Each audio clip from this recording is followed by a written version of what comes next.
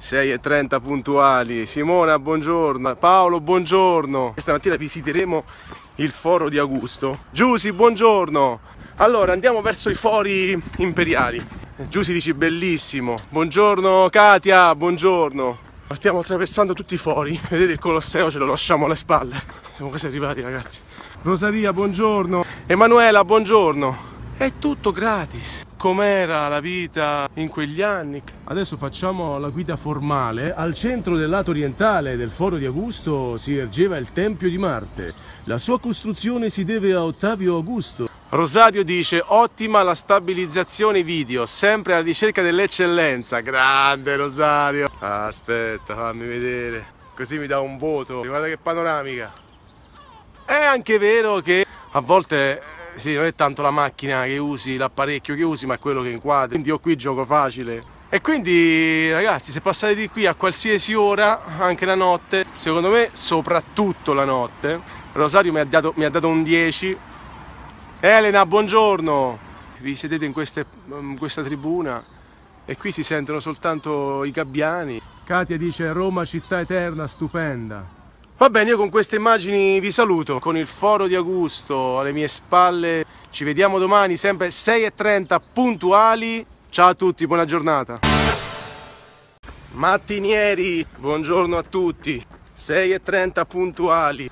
Siamo sempre a Roma, quartiere San Paolo, precisamente in via Cestio. Ieri vi ho promesso che saremmo andati in Egitto. Ovviamente non siamo in Egitto, siamo in provincia. Stiamo andando a visitare la piramide e ci siamo quasi, qualche minuto. Intanto però stiamo costeggiando. Simona, buongiorno. Stiamo costeggiando il cimitero acattolico presente a Roma che si distingue per la grande concentrazione di artisti, poeti, scrittori, diplomatici, filosofi i più noti, a me il più noto, Emilia buongiorno, Monica buongiorno.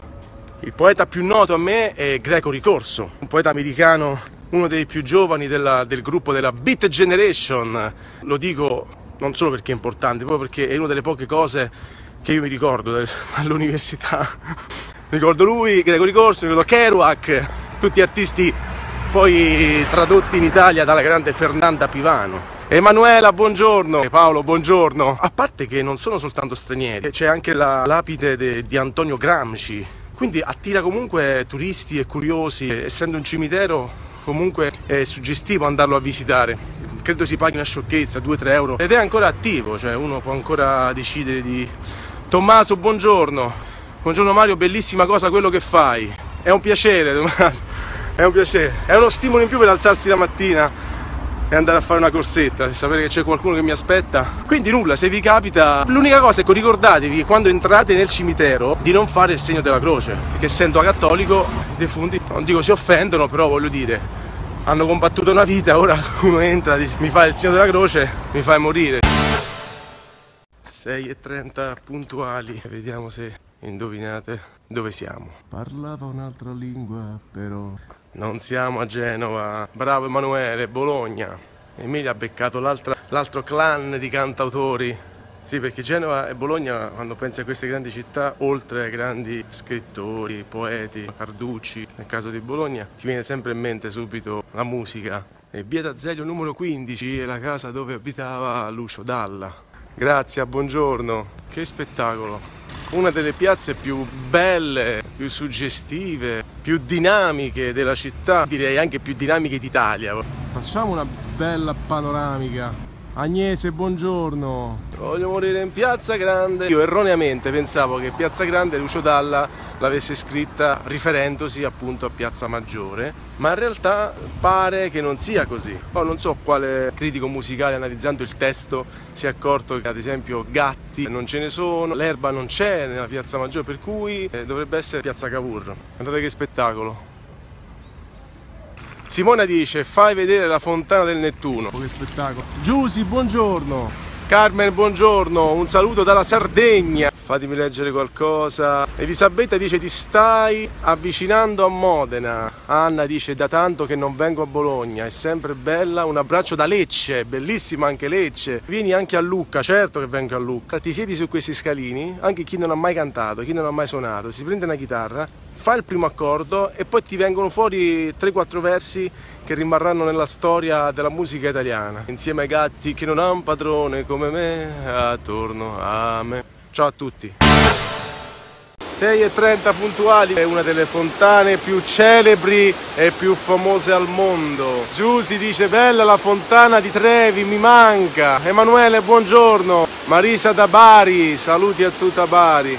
Tra un po' lanceremo la monetina, eh. Chi passa non può esimersi. Sapete una curiosità? Con il lancio delle monetine, questa fontana incassa, incassa, tra virgolette, in media circa 3.000 euro al giorno.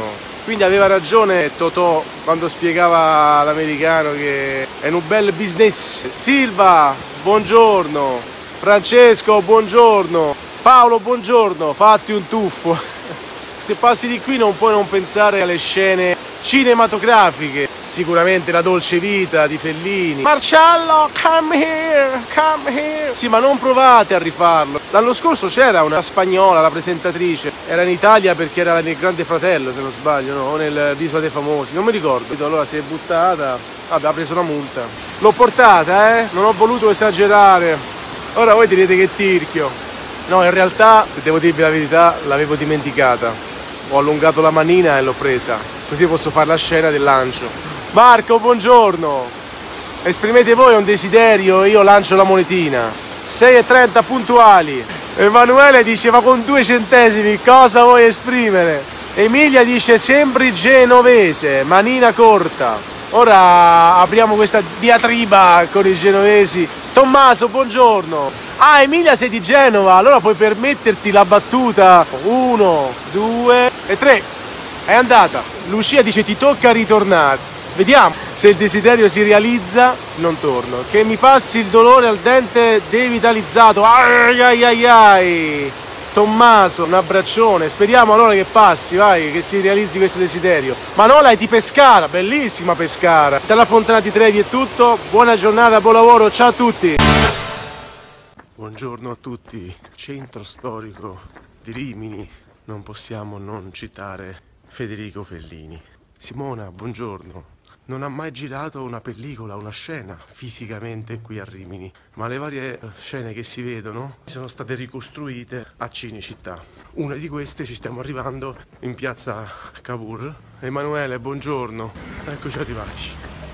Paolo, buongiorno. Maria, buongiorno proprio in questa fontana della Pigna si posò il, il pavone nella scena delle palle di neve, no? nel film Amarco. Accanto c'è la vecchia pescheria. Monica dice ti trovi nella, nella terra che amo, sono veneta, ma l'Emilia Romagna che adoro. Direi di farci una corsetta per raggiungere il castello. Sì, comunque Monica ha ragione, terra, terra bellissima. Manuela, buongiorno. Devo forse Alberto, Alberto Angela, ragazzi. Esempio più fantozzi che racconta. Sto scoprendo tante cose insieme a voi. Eh.